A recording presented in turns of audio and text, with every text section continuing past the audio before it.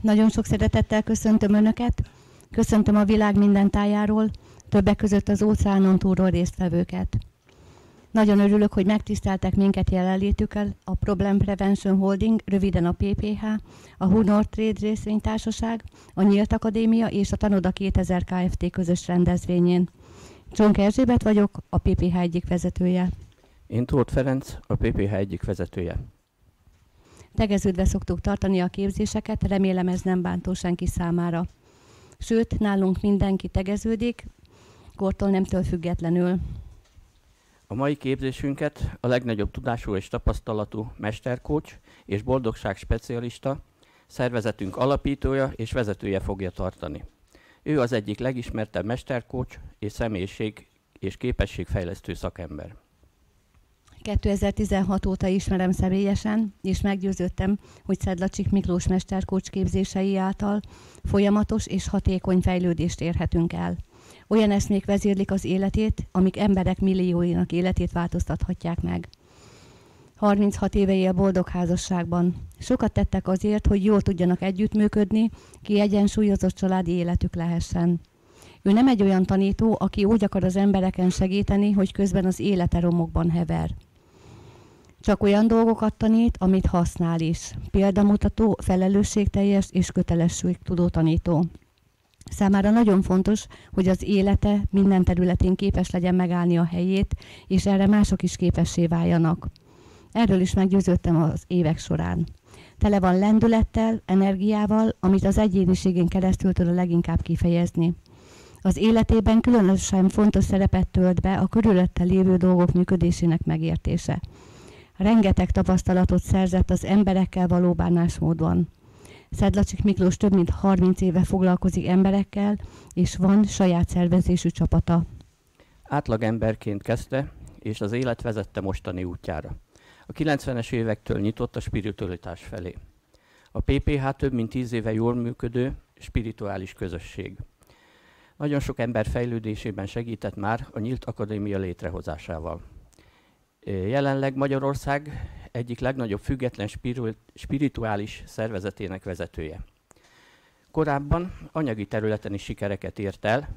Nincs még egy olyan ember Magyarországon, akinek vezetésével négy különböző területen lett egy szervezet piacvezető. Vezetőnk több különleges médiumi képességgel rendelkezik, többek között a teremtőjétől kap válaszokat, információkat. Küldetése az aranykor létrehozása, az emberek lelki fejlődése és olyan szintre emelése, hogy képesek legyenek szeretetben, békében és boldogságban élni azért, hogy bekerülhessenek az aranykorba. Szeretném megkérni vezetőnket Szedlacsik Miklós mesterkócst, hogy jöjjön és tartsa meg a mai képzést.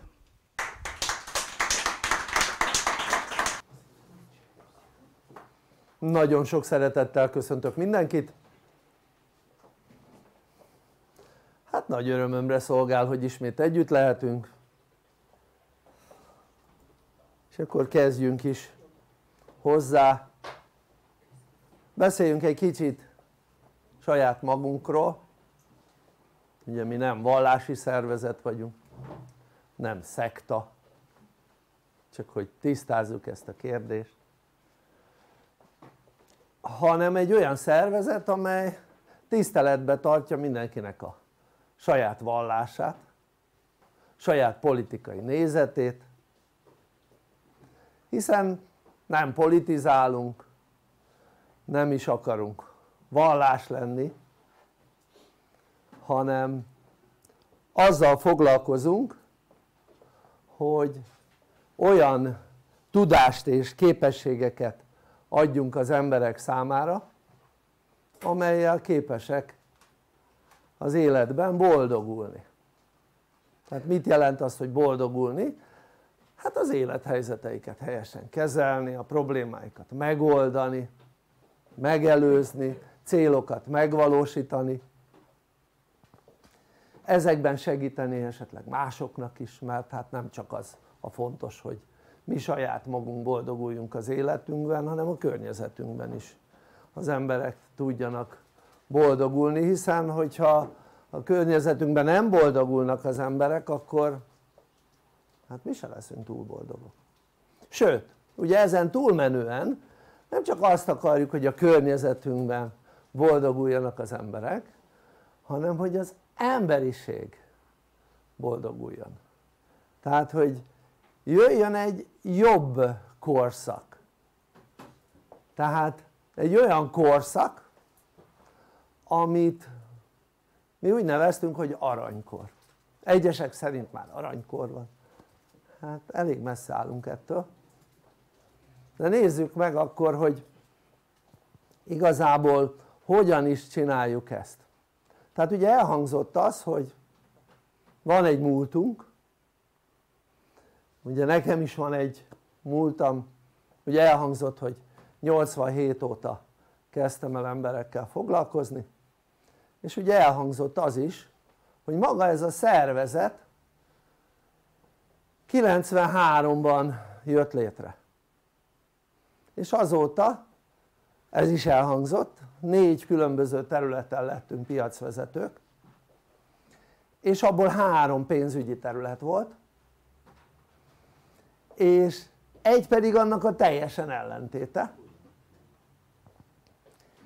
De mi az ellentéte? kócsképzéseket tartunk. Tehát Magyarországon mi képeztük illetve mondhatom azt hogy én képeztem a legtöbb kócsot eddig. Tehát én képeztem.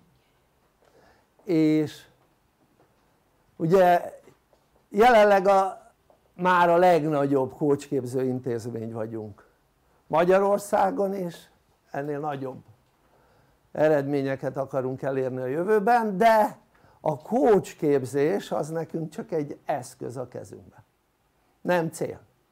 Az összes kócsképző szervezetnek a kócsképzés az egy cél. Nekünk csak egy eszköz. Mert ennél jóval nagyobb célunk van na most ezáltal hogy jóval nagyobb célunk van és mivel a kócsképzés csak egy eszköz ezáltal a kócsképzéseket a piachoz képest sokkal-sokkal kedvezőbben nyújtjuk. Tehát ami azt jelenti hogy a legkedvezőbb áru kócsképzéshez képest is körülbelül hatoda az árunk. Tehát hatoda tehát most gondold végig hol kapsz te bármilyen képzést, nem hogy kócsképzést, bármilyen képzést mondjuk óránként 330 forintért. Sehol semmit még ha van egy mit tudom én egy általános iskolás gyereked még a korepetálásáért is jóval többet fognak kérni. Tehát gyakorlatilag semmilyen képzés nincs ennyi pénzért. És akkor miért ennyiért nyújtjuk? Hogy bárki számára elérhető legyen de mondom csak egy eszköz a kezünkben a kócsképzés. Tehát ugye mi a kócs? egy szakma. A kócs azt jelenti a mi értelmezésünkben hogy ember és életjobbító. Tehát egy kócs képes arra hogy valakit rávezessen a problémájának a valódi okára és a megoldásra is. Nem ő, old, tehát nem ő oldja meg a dolgot a személynek kell megoldani a dolgát de ő rá tudja arra vezetni hogy hogy kell megoldani azt a problémát. Tehát ugye ez ezt jelenti a coach. Tehát amikor egy coach dolgozik akkor coachingol. Jó tehát a coach azt jelenti hogy edző egyébként. Ezt látni a sportban hogy mikor mondjuk nézed a tévét és mondjuk van egy futballmeccs akkor kiírják hogy coach. Ugye kiírják hogy edző. Jó tehát eredendően angol szó jó de mégsem mert magyar szó. Tehát ami azt jelenti hogy maga a coach kifejezés az a kocsi szóból keletkezik és coach községből eredő szó. Ez csak érdekességként mondom. Na szóval a lényeg az hogy hogy mi egy olyan szervezet vagyunk amely mondhatjuk azt hogy a történelemben egyedülálló célokkal rendelkező szervezet.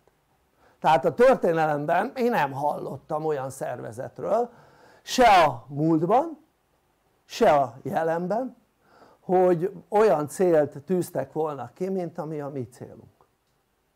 Tehát ezáltal eléggé ugye mondhatjuk azt hogy egyedi mivel még a történelemben nem volt ilyen eléggé egyedi az, az ami a célunk na mi a célunk? nekünk az a célunk hogy amiért leszülettek az emberek azt véghez tudják vinni oké? Okay? csak egy probléma van ezzel hogy az embereknek fogalmuk nincs hogy miért születtek le azt gondolják hogy azért születtek le mert anyuka meg apuka összedugta az amilyen volt nekik. És ennek a termékeként hát ő megszületett. Tehát ezt gondolják az emberek hogy ezért születtek. És akkor ugye ennek alapján megpróbálják valahogy élni az életüket lehetőleg minél boldogabban idézőjelben természetesen aztán vagy összejön ez vagy nem. Na most inkább azt látni hogy ez nem igazán jön össze ha megnézed ha körülnézel tehát azt látni hogy az emberek valahogy mégse boldogak. Pedig ugye sok ember azt gondolta volna hogy hát azért vagyunk hogy boldogak legyünk nem? és ebben van igazság de ugye vannak olyan dolgok az életben ami előidézte hogy ne lehess boldog. De szó szerint. Mi idézte elő? hát eleve ott kezdődik hogy beszülettél egy családba ugye? És voltak szüleid vagy még vannak is. De hát mivel már felnőtt vagy vagy legalábbis ugye a legtöbb hallgatóm az ugye felnőtt és ha már felnőtt vagy akkor már nem nevelnek a szüleid.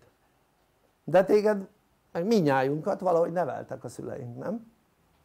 és akármilyen hihetetlen a szüleid olyanná tettek hogy azokat a hibákat amit el kell követned felnőttként majd elkövest. És ezeket a hibákat eddig el is követted. Sőt ha minél többet hibáztál az életedben és éled tovább úgy az életedet ahogy eddig annak hatására még többet fogsz hibázni.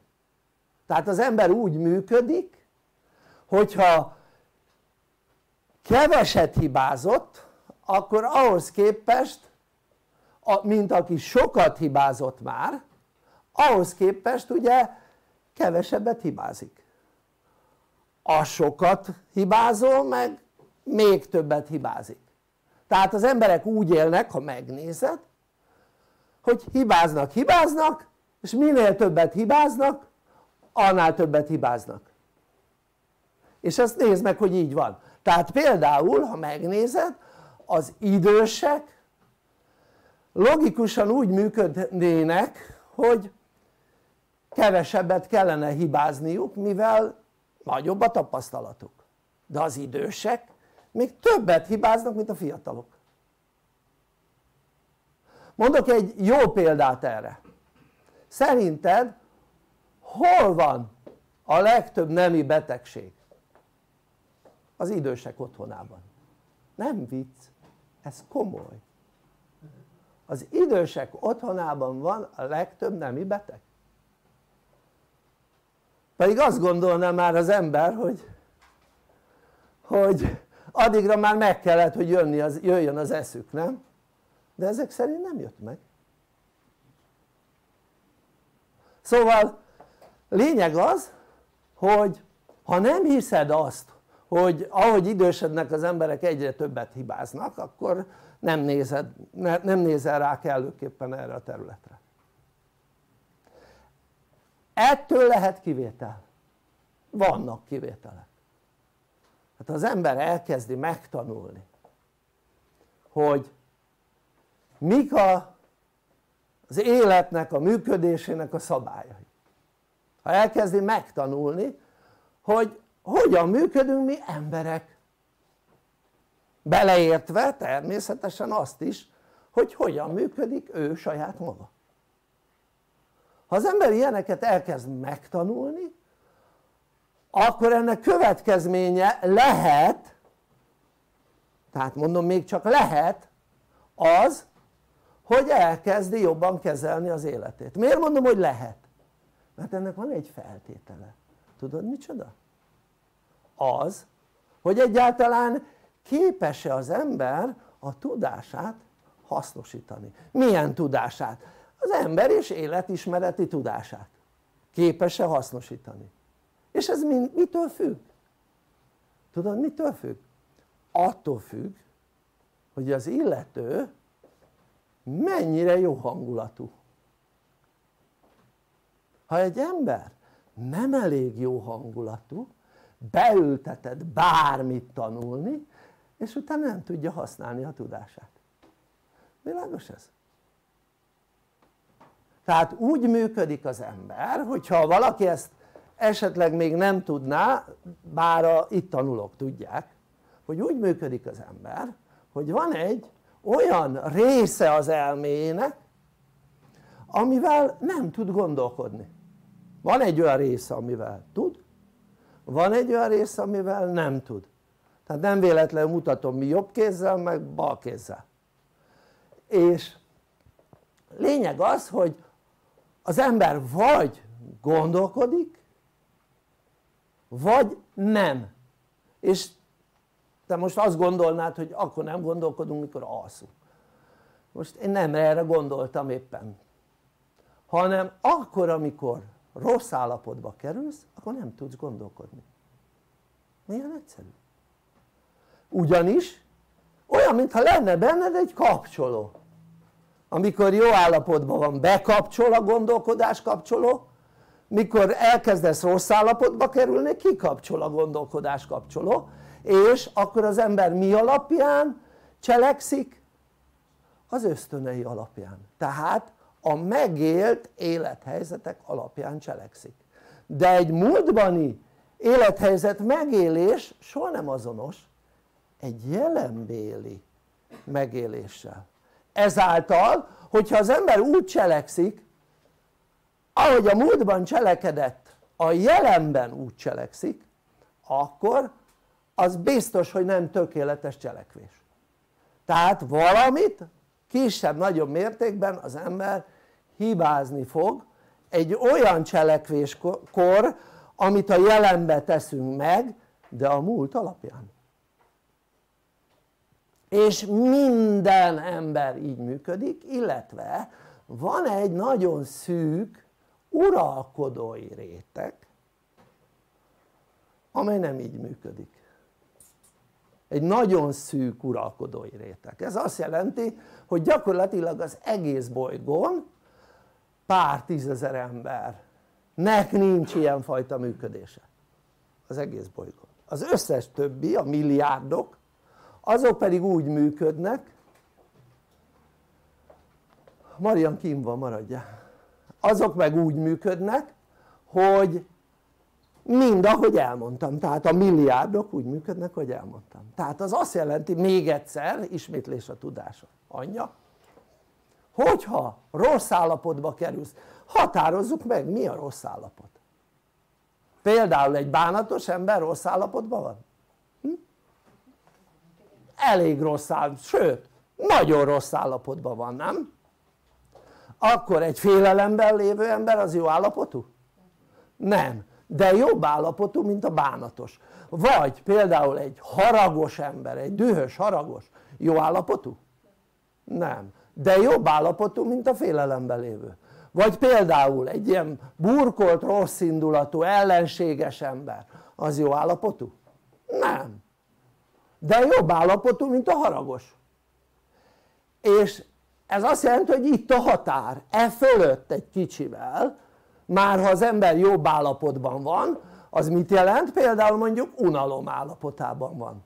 Az már egy jobb állapot de az unalom az már olyan szint ahol az ember tud gondolkodni. Tehát már bekapcsol a gondolkodás.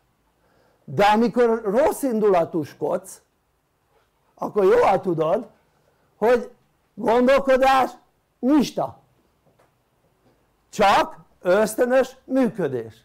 Tehát az ösztönös működés azt jelenti hogy a megélt tapasztalatok alapján cselekszel a jelenben. És nem tudod felmérni hogy abban a helyzetben mi a helyes vagy a helytelen. Világos ez? na most tehát ha így jobban meghatározzuk akkor azt látod hogy egy kulcskérdés az ember életében hogy milyen hangulatban van. Ha egy ember rossz hangulatú akkor arra számíthat hogy hibát hibára halmoz. Ha egy ember jó hangulatú akkor arra számíthat hogy képes a gondolkodásra és képes a megelőzésre. Világos ez? tehát a gondolkodás révén tudunk megelőzni negatív helyzeteket érthető ez? és minél jobb állapotban vagyunk ez annál könnyebben megy, annál kevesebb gondolkodást igényel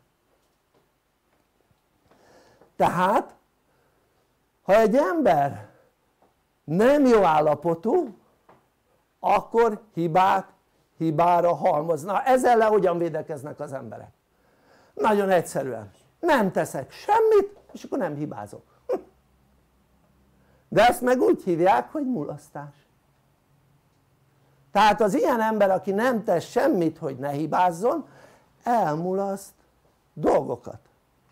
És az elmulasztásnak szintén vannak következményei és általában nem pozitív hanem negatív következményei na most akkor gondold végig ha van bennünk egy ilyen kapcsoló hogy jó állapotban tudunk gondolkodni de menjünk följebb. Ugye mert még én csak a legalacsonyabb ha, ö, jó állapotú hangulatról beszéltem az unalomról. A fölött van az érdeklődés, a fölött van a jóked, a fölött van a lelkesedés. Bizonyára voltál már lelkes, nem? És melyik volt jobb? mikor lelkes voltál vagy amikor rossz indulatú? Hm? melyik volt a jobb? melyikben érezted jobban magad? melyikben szerettek jobban az emberek? Hm? gondold végig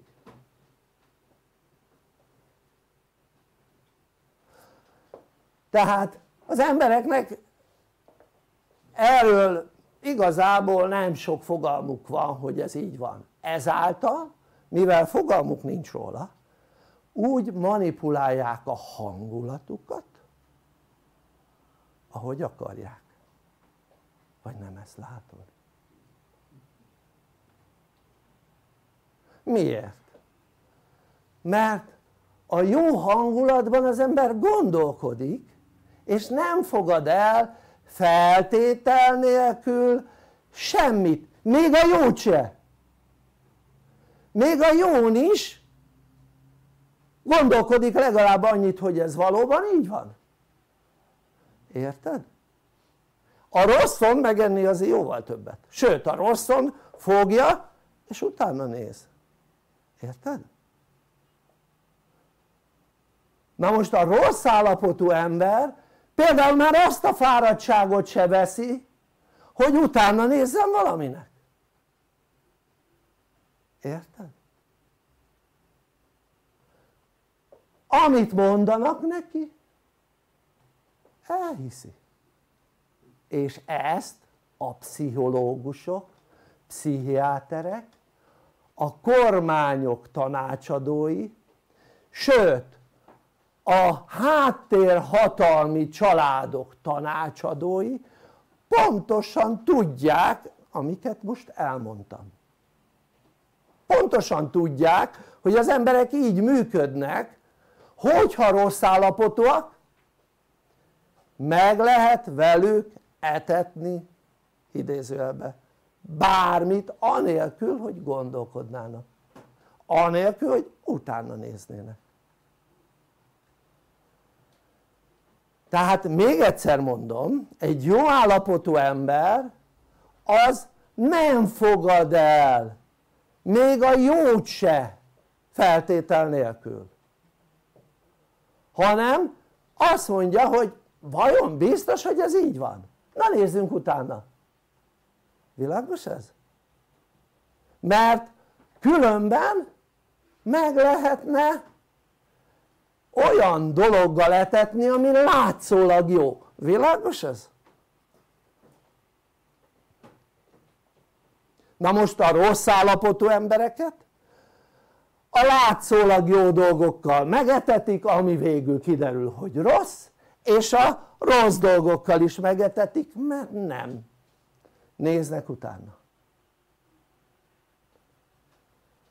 Ha jobban megnézed ennek a részleteit hogyha nem siklottál át a legfontosabb részen akkor nagyon fontos kérdés az ember életében hogy milyen hangulatú. Na akkor kérdezem én. Hogyan tudod tartósan jó hangulatává tenni az életedet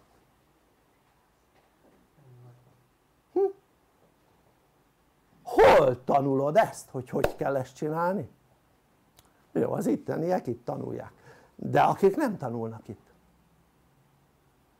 konkrét tulajdonságokat és módszereket hol kaptál a hangulatokkal kapcsolatban? Hm? ha nem itt hol?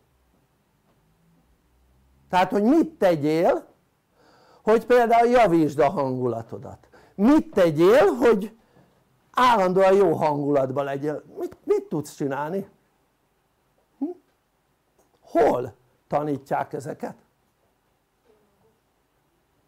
pszichológus? az biztos hogy nem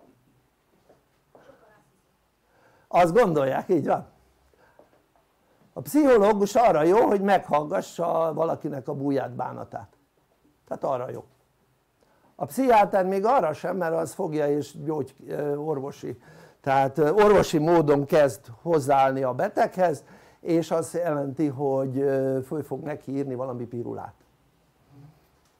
oké? Okay?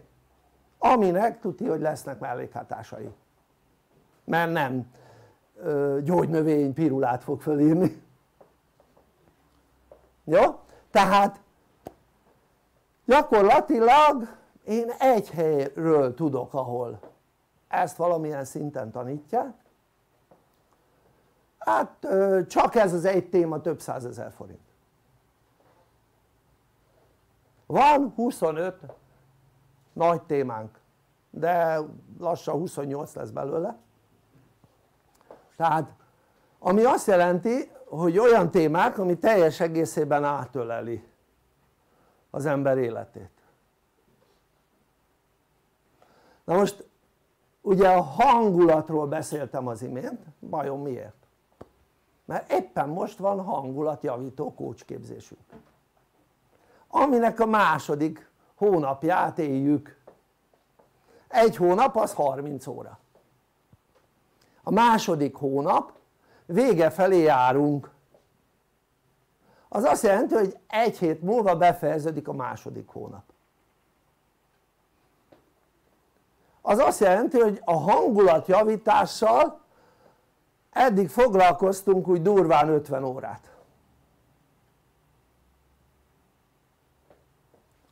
Na most ha egy ember azt mondja hogy két érdekel az hogy mit tanítanak itt akkor ugye megkérdezném hogy hogy fogod kezelni mondjuk a negyedik hullámot és a negyedik hullámnak a következményeit hm? hogy fogod kezelni? milyen rossz hangulatban fogod kezelni?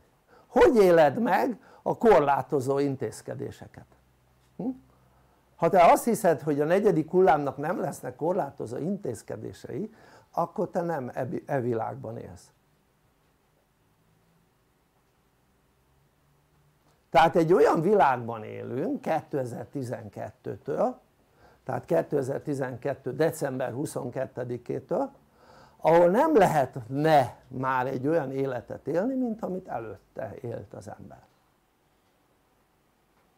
mert ez egy átmeneti korszak amiben vagyunk az azt jelenti hogy átmeneti kor az aranykor és a vaskor között.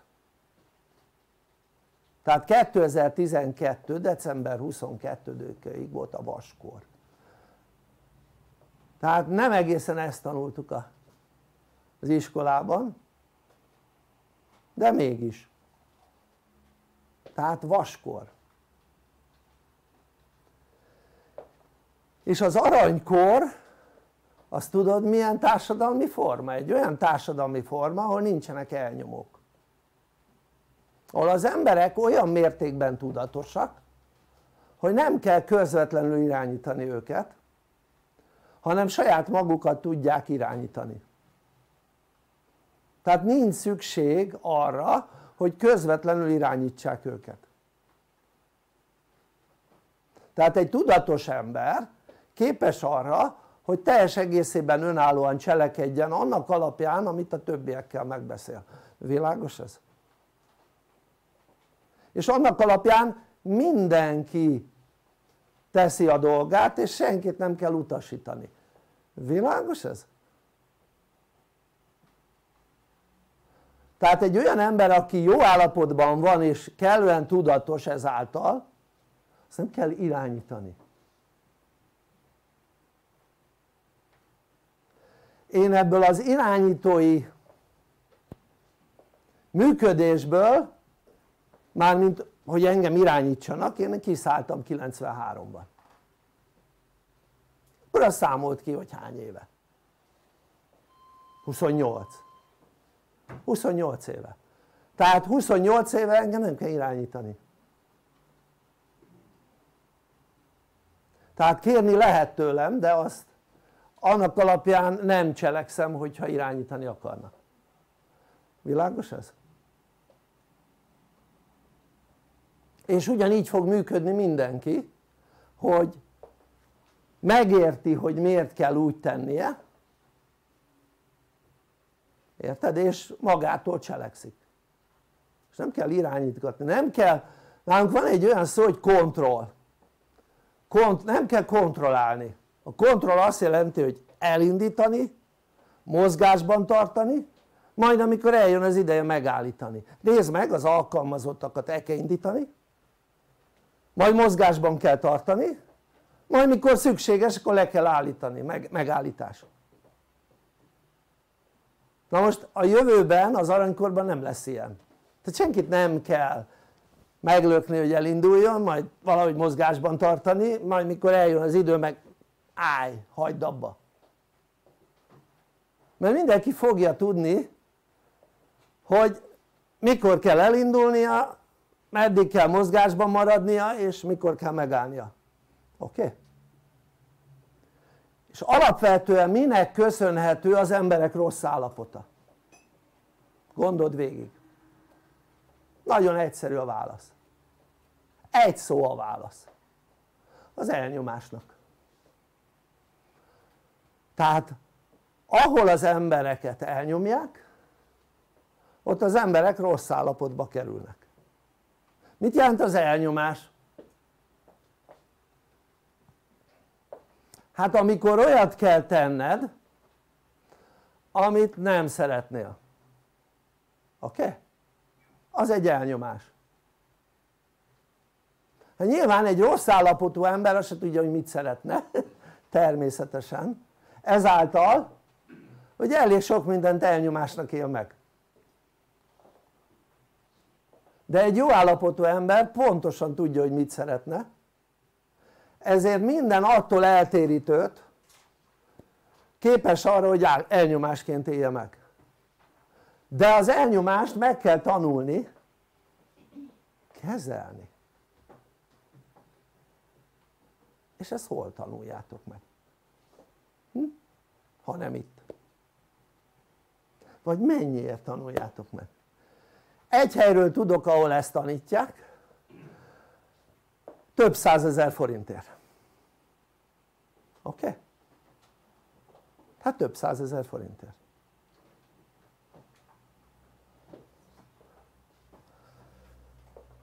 tehát ez is egy olyan téma ami alaptéma az elnyomás kezelése. De tudod mi a legalapabb téma?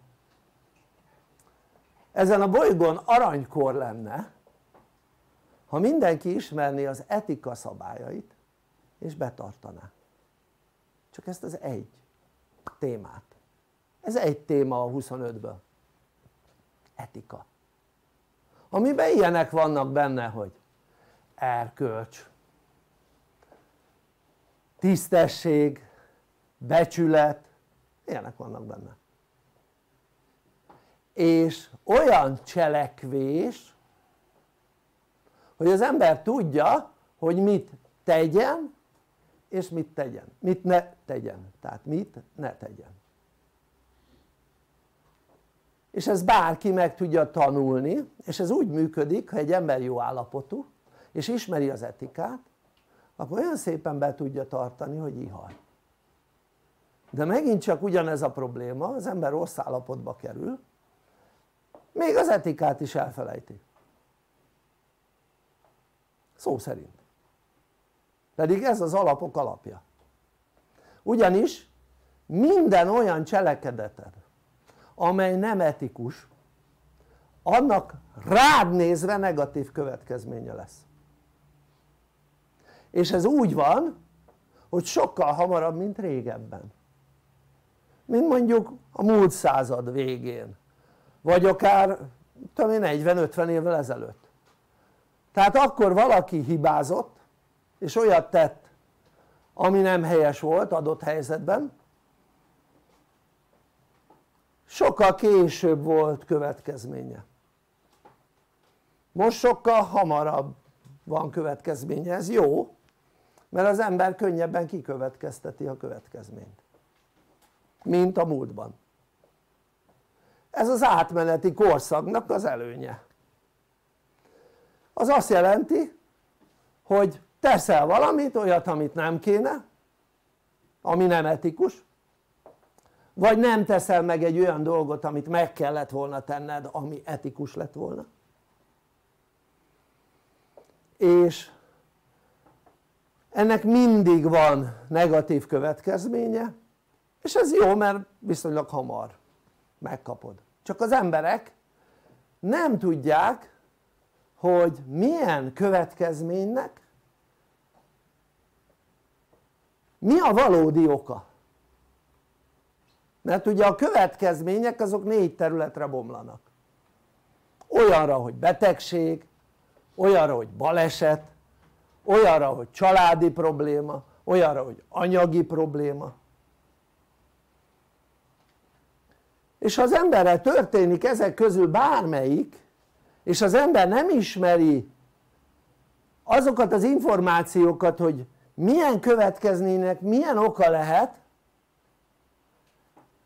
ezt előre nem tudja akkor max onnan tudja meg hogy mi lehet annak a, az előzménye annak a történésnek hogy megkérdez olyan szakembert aki ezért na most te hol kérdezel meg ilyen szakembert? és mennyit fogsz érte fizetni? Hm? a kócsok tudnak ilyeneket csinálni mondjuk óránként ott kezdődik hogy 3000 forinttól 35 ezer forintig terjedő összegben oké? Okay? tehát a drága kócsok azok óránként 35 ezeret kérnek az olcsó kócsok minimum 3000 óránként. Érted? és ráadásul ugye a kócsok specializálódnak. Tehát általában ahogyha megnézed a kócs területeken egy témában kócsá válni az körülbelül 120-160 óra minimális képzés. Tehát egy témában és az embernek nem csak párkapcsolati gondja le lehet mert ugye a legtöbb kócs az a párkapcsolati kérdésekkel foglalkozik. Hanem az embernek mivel a párkapcsolat az a a családi problémák témaköre, hát azon kívül még van háromféle nagy témakör és mit gondolsz hányféle probléma lehet egy-egy témakörben? Tehát például a családi probléma témakörében is lehet olyan hogy szülővel kapcsolatos probléma vagy gyerekkel kapcsolatos probléma vagy éppen saját magaddal személyesen van probléma oké? Okay? az is a családi téma tehát amikor nem balesetben vagy betegségben jelenik meg hanem ilyen belső vívódásban oké? Okay? Tehát lényeg az hogy hogy oldod meg ezeket a dolgokat? Hm? tehát van nekünk egy nagy célunk. Ugye az imént említettem. Na nézzük. Gyorsan.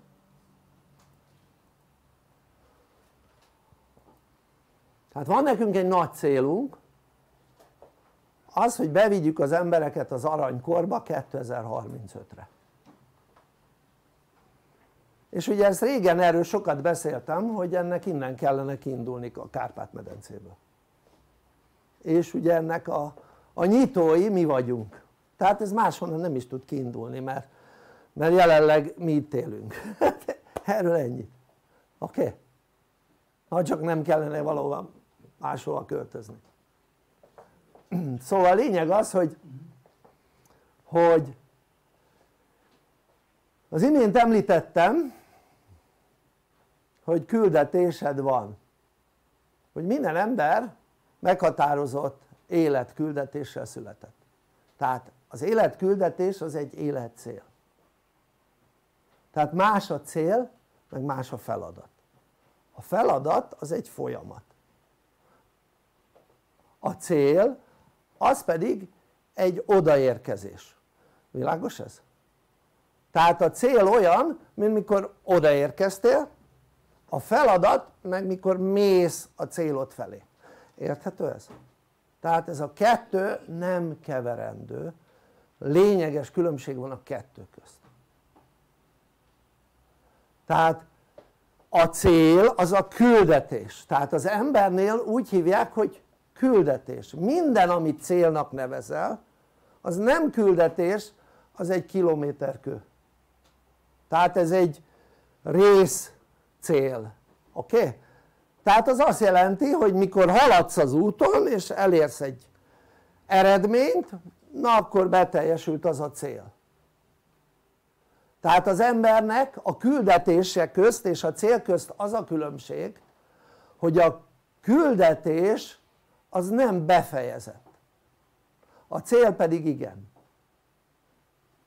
világos ez? Mert sokan azt gondolják hogy hó hát én elértem a célomat vagy elértem a küldetésemet. És kész, hát már verhetem a mellemet. Nincs ilyen, a küldetés az nem befejezett. Tehát ez olyan mint mikor mondjuk van egy olyan célod hogy elmenj mondjuk Moszkvába. És most mondtam eszembe jutott egy város. Oké? Okay? és de úgy hogy mondjuk ott mindent megnézel tehát vagy akár ott is maradsz, ott is élsz tovább, érted? az azt jelenti hogy akkor nem teljesült be azzal a, a célod hogy odaértél mert mondjuk ott mindent megnézel, sőt ott is élsz érted? tehát ott folytatódik tovább tehát a küldetés az azt jelenti hogy elérted a célodat és abban az állapotban folytatódik tovább a dolog érthető ez? de mi az ami folytatódhat tovább? hát igazából csak egy dolog folytatódhat tovább az hogy amit te elértél azt tudod de ez nem elég hogy tudod hanem elkezded továbbadni világos ez? és a továbbadásnak nincs vége mert van egy emberi szaporulat. Ha az emberiség lélekszáma megállna akkor nyilván nincs tovább szaporodás és onnantól kezdve mondhatnád azt már mindenkit tanultál vagy tanítottál már nincs tovább, érted? már mindenki mindent tud, már nincs tovább hát jó ilyen időszak sose lesz. Csak most ugye egy szélsőségről beszéltem. Tehát az azt jelenti hogy a küldetést az ember tovább éli a küldetését, világos ez? na most ezért jó ha minél hamarabb eléred a küldetésedet mert ha az ember elérte a küldetését akkor egy, egy teljesen más állapotba kerül. Ne úgy értsétek hogy mit tudom terhes lesz és az a más állapot. Jó? mert hát a férfiak hogy legyenek terhesek? Bár lassan a tudomány ezt is megoldja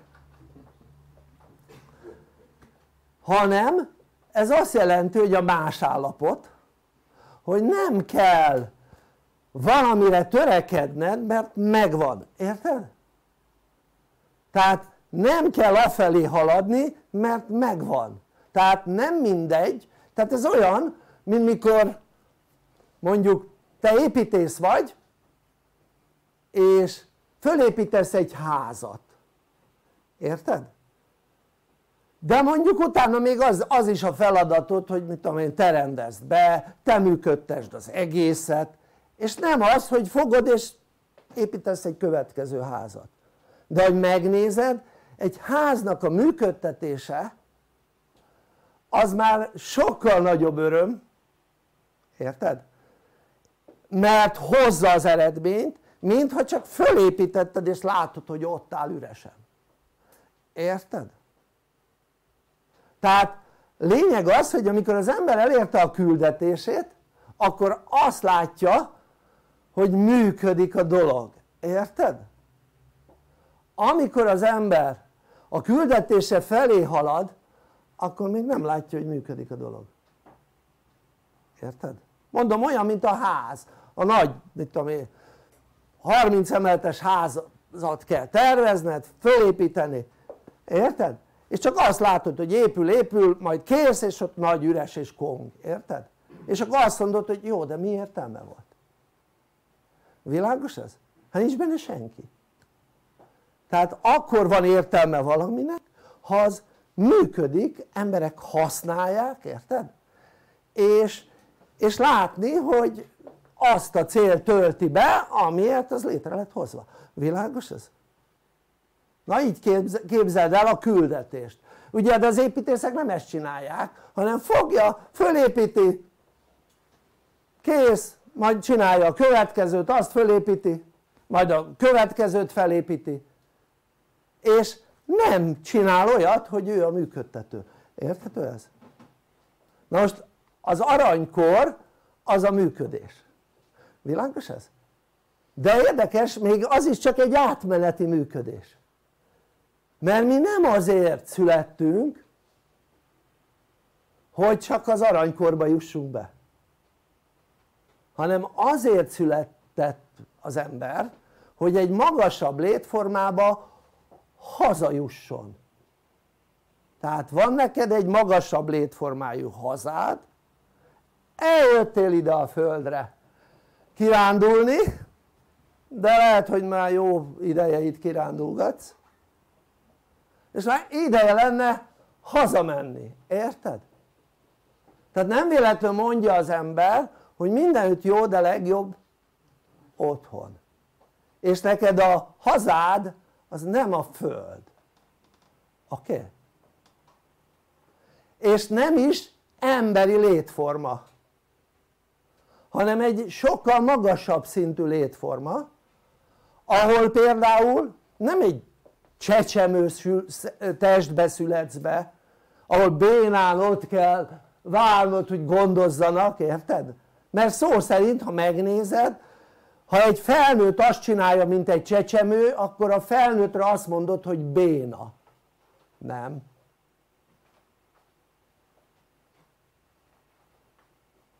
De a csecsemőre nem mondjuk hogy béna mert tudjuk hogy ebből az állapotból majd szépen felfejlődik oké? Okay? de mégis megnézed gyakorlatilag teljes kontrollra szorul, nem? tehát teljesen arra szorul hogy gondoskodjanak róla első pillanattól az utolsóig oké? Okay?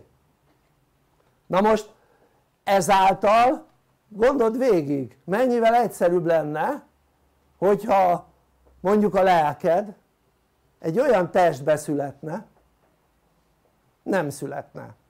Szállna bele amelyik felnőtt. Tehát mondjuk 21 éves.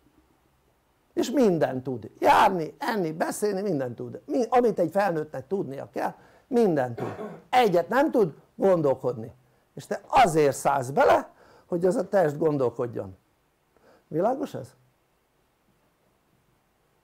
Tehát ha a lelket kiszedjük belőled akkor a tested arra képes hogy tisztán ösztönszerűen működjön. Gondolkodás nulla. Érted? tehát teljesen hasonlít a dolog ha megnézed ahhoz mint mikor rossz állapotú vagy. Tehát magyarul a le, mikor rossz állapotban vagy a lelkedet nem hagyod hogy működjön. Világos ez? és tudod mit nem hagyja? az a fajta működés amit úgy hívnak hogy ösztön. Az nem hagyja hogy a lelked működjön. Ezért van például a rossz állapotú emberekre szokták mondani hogy na a lelketlen. Egy jó állapotú emberre sosem mondják. Tehát maga az elméd azon része amely az ösztönt képviseli az nem hagyja hogy a lelked az működjön, érted? hát hol látod azt hogy a rossz állapotú emberek lelkesednek? sehol hol látod azt hogy ki tudják mutatni a szeretetüket? hol látod?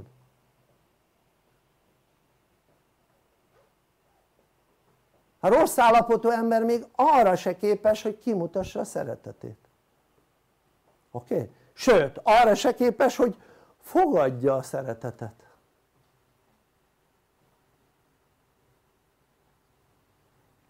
tehát maga a test azon része ami az ösztönt képviseli leblokkolja a léleknek a működését erre mit tud tenni a lélek?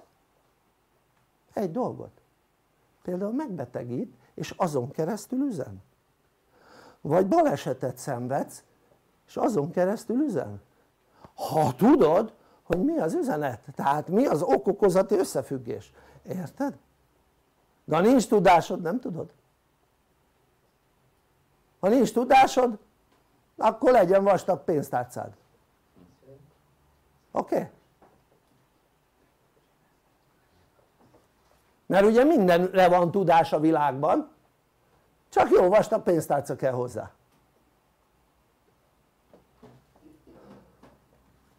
Egy olyan terv van hogy ezen a bolygón kellene több mint 300 millió tanító aki képes tanítani az embereknek átadni a tudást. Tehát ez nem elég. Pár ezer vagy pár tízezer vagy pár százezer vagy pár millió. Nem elég. Az azt jelenti hogy az emberiség 4%-ának tanítónak kellene lenni. Hát ettől nagyon messze vagyunk. De van időnk de fogy. Folyamatosan fogy. És van egy következménye ha itt nem lesz aranykor ezért ezt jó ha tudjátok ha ezen a bolygón nem lesz aranykor akkor ezt a bolygót sajnos szét kell robbantaniuk. Tehát nem lesz következő emberiség. Tehát nem lesz az ami eddig volt hogy jó akkor írtsuk ki az emberiséget mit tudom vízözönnel, tűzözönnel, akármivel és akkor induljanak nulláról. Lehet nulláról indulni csak nem a Föld nevezeti bolygón van egy másik bolygó kinn a világegyetem illetve az univerzumunk szélén. Ott van egy bolygó ami hasonlatos a Földhöz és lehet majd ott újra születni. De ezen a bolygón aranykornak kell lenni és mondom ha ez nem valósul meg akkor annyi. Jó? az az lesz hogy ugye azt gondolják emberek spirituális emberek hogy hát majd őket kimentik majd annak alapján hogy mit tettél, jó? nem az a lényeg hogy te másként gondolkozol soha nem a gondolkodás a, a lényeg hanem tudod mi? a tettek mit teszel? tehát mit tettél? tehát mit tettél? kinek segítettél? ezt úgy hívják ugye hogy, hogy hogy tetted a dolgodat de kevés voltál. Érted? de ha az ember nem teszi a dolgát akkor ezt nem lehet mondani. Tehát azért voltál kevés mert nem voltatok elegem. Tehát úgy értsd, érted? mert nem voltatok elegem. És ezért nem tudott megvalósulni. Most múlt, jövőről beszélek. Ez egy jövő variáció hogy azért nem valósult meg mert nem voltatok elegen akik tegyék a dolgukat. Világos ez? és ha tették volna az emberek a dolgukat akkor nem ide jutottunk volna. Mondom ez egy, ez egy várható jövő. Ugye ezt nem ezt szeretném hanem én azt szeretném hogy az emberek tegyék a dolgukat és ugye egyre több ember tanuljon, fejlődjön ember és életismeretre vonatkozóan természetesen egyre jobban kezeljék az élethelyzeteiket, a problémáikat stb. stb. célokat és eljön az az időszak ahol 2035 ahol aranykor van, na most itt viszont ha megnézed ugye az átmeneti időszakban azt fogod látni és ezt én már mondom hány éve? a régiektől kérdezem. Hány éve mondom hogy azt fogjátok látni hogy egyre többen meghalnak? Hát sok-sok, sok-sok éve mondom. Hát Móni te vagy itt a ja de akkor anyu, anyu a, aki sok régebben igen ő a régebbi. Így van itt a teremben szóval a lényeg az hogy hogy ugye réges régóta mondom hogy eljön az az időszak ahol az emberek hullani fognak. Mert ezt úgy hívják hogy kiválasztódás. Az, a különbség, az lesz a különbség az emberek között hogy akik hajlandók voltak fejlődni. Tehát ez még megint a jövőről beszélem aminek nem kéne megvalósulni hogy ha hajlandók fejlődni akkor kivonódnak de beszületnek egy olyan családba ahol megkapják azt a neveltetést ahol bejuthatnak az aranykorba. De ki kell vonni őket. Akik meg nem hajlandók fejlődni azok mennek a másik bolygóra. Nem lesz mobiltelefon meg internet csak úgy mondom kőkorszak nem tudom mennyire tetszik? lehet majd ott kőkorszaki körülmények között szépen újból élni az életeteket de azért hozzátenném hogy minden emberiség amelyik elindult pár család indult gondold végig mennyi idő múlva születhetsz újra jó? vagy fognak újra születni azok az emberek akik ott kötnek ki mint itt az emberiség elején az azt jelenti hogy volt aki mit tudom ezer évet várt arra hogy újra szülessen érted? létközi állapotban jó? na mindegy szóval ez, ez egy olyan variáció ami, amire van esély de nem ezt az esélyt kellene betölteni hanem azt hogy szólunk embereknek hogy lehet tanulni, lehet fejlődni megfizethető áron és legyünk minél többen és tanuljunk, fejlődjünk hogy ne essünk bele ebbe a kiválasztódásba. Érted? és ha megnézed ez a kiválasztódás mint ami elindult most itt a Covid-dal ez tökéletes. Ez tökéletes. Sokkal jobb mint ha mondjuk természeti katasztrófák lettek volna sokkal jobb. Tehát az azt jelenti hogy sokkal humánusabb. Itt rá van bízva az emberre, érted? a természeti katasztrófánál a fentiek intézték volna a természeti katasztrófát, magyarul mondhatjuk volna hogy ők intézték a népírtást. De itt a népírtást az emberek maguk intézik maguknak. Ennél jobb nincs és a fentieknek meg tiszta marad a kezük. Érted? gondold végig már hat ilyen emberiség volt amit lenulláztak és ott milliók, milliárdok haltak. És mind természeti katasztrófa révén ami azt jelenti hogy a, azt mind az istenek intézték. És itt nem kell. Mindenki elintézi magának baromi jó. Nagyon tetszik. Elintézi magának hogy meghal vagy tanul vagy még szervez is a tanulás mellett. Mindenki maga intézi magának. Ennyi. No hát ha van jobb ötleted hogy mivel lehet aranykort csinálni akkor csináld meg nekem ennél jobb ötletem nincs. Oké? Okay? tudom az összes lépést hogy hogy fog véghez vinni tehát, be, tehát megtör, hogy fog megtörténni. Ezeket tudom. De ugye vannak olyan dolgok amiket mondhatok vannak olyan dolgok amik nem mondhatok. De lényeg az hogy gondolkozz el azon hogy ki, kihez akarsz tartozni. Azokhoz az emberekhez akik azt várják vissza azt a fajta működést ami a Covid előtt volt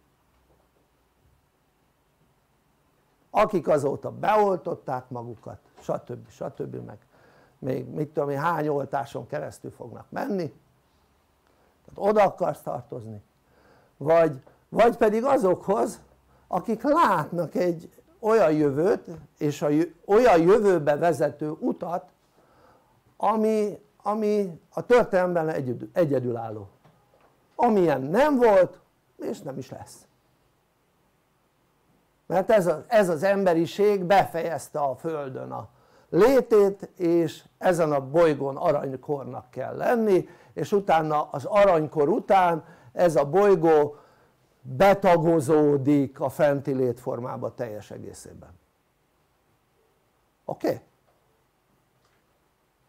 Hát gondold végig hogy neked mi az ideális?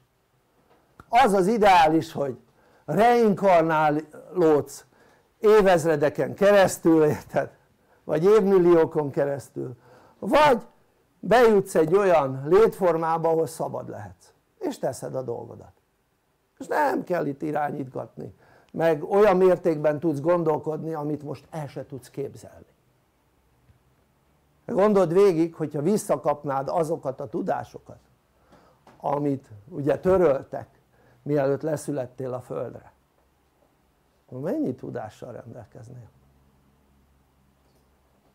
tehát ugye te több mint másfél millió éves le, le, lélekkel rendelkezel mert másfél millió éve nincs lélekteremtés hát és gondold végig az azt jelenti hogy valószínűleg nem millió éves lelked van hanem milliárd éves lelked van, érted? és azért gondold végig az alatt mennyi mindent megéltél. És ugye miért kellett a földre lejönnöd? ugye azért hogy pontos különbséget tudj tenni a jó és a rossz között. És soha ne akarj rosszat. Majd ha innen kikerülsz oké? Okay? és azt ameddig elnyomói társadalomban élünk addig ezt nem lehet megcsinálni köszönöm szépen a figyelmeteket visszaadom a szót a házigazdáinknak szeretlek benneteket, sziasztok!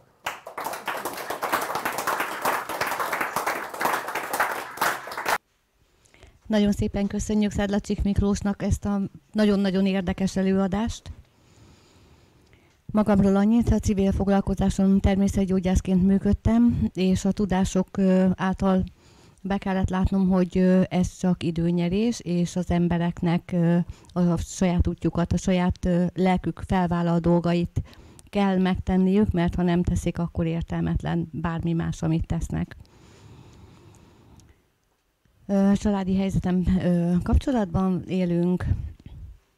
Itt a Nyílt Akadémiánál én már több mint 5 éve itt tanulok. Előtte tanultam több mint 25 év spirituális dolgokról, és még mindig éreztem valaminek a hiányát, és itt a PPH-nál találtam meg, mert mindegyik csak résztudás volt, mindegyik csak igazából vagy energetikai, vagy lelki síkon tudtam segíteni az embereknek, de nem tudtam őket megtanítani élni.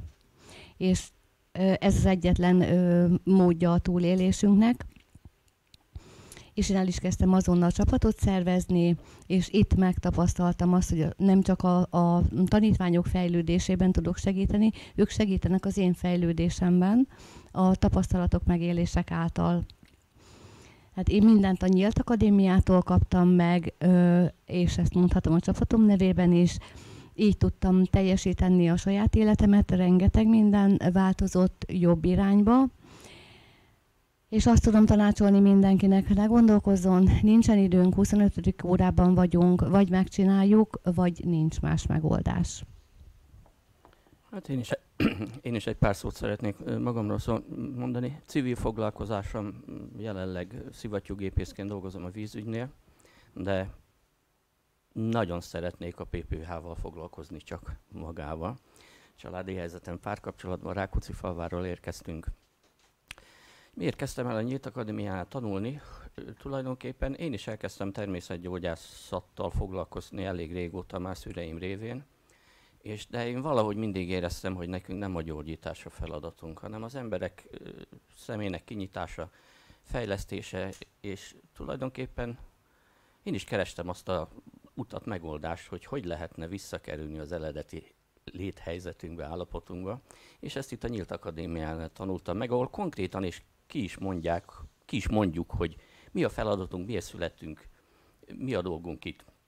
És nekem rengeteg adott a Nyílt Akadémia családi állapotom, munkaviszonyban rengeteg pozitív dolgot éltem meg, amit itt a Miklós és a Nyílt Akadémia tanításainak köszönhetően tudok. Ezt másoknak csak azt tudnám tanácsolni, hogy tulajdonképpen most, hogy beszélget, tehát itt Miklós, eszembe jutott egy ilyen tanmese, mikor a árvíznél Józsi bácsi benn marad a háztetőn, és arra megy a csónakkal egy úriember, hogy elviszünk. Hát én most nem megyek veled, mert én rám Isten vigyáz. Eltelik, már a tetőre kellett felmászni neki, még már a tető sarkáig ér a víz, arra megy másik csónak, és jöjjön Józsi bácsi, én nem megyek, én rám Isten vigyáz.